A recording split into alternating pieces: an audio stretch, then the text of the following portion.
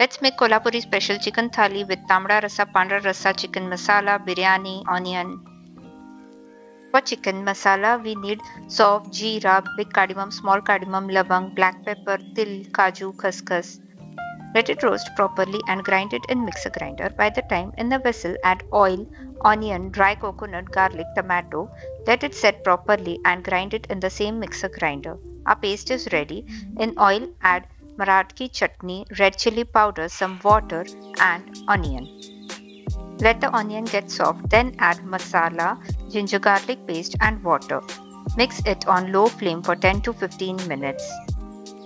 Add salt and haldi, then remove the masala in a small bowl for tamda rasa.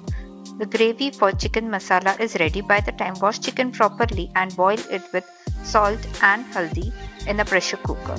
Then add the chicken pieces to chicken masala gravy. Our chicken masala is ready to be served. Let's make pandra rasa. In a vessel, add onion and kaju, roast it properly and make fine paste out of it. In the same vessel, add oil, khada masala, prepared paste and coconut milk, almost one packet. Let it boil properly, then add some water, salt, then finally add boiled chicken water and boil it for 2 minutes. Our pandra rasa is ready. Now tambda rasa in oil add red chili powder and water.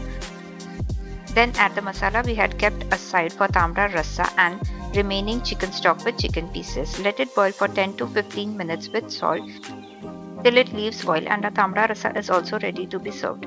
Last, onion. In boiling water, add onion, green chilies, beetroot, vinegar and salt. Let it boil for 2 minutes delicious and spicy Kolhapuri chicken thali.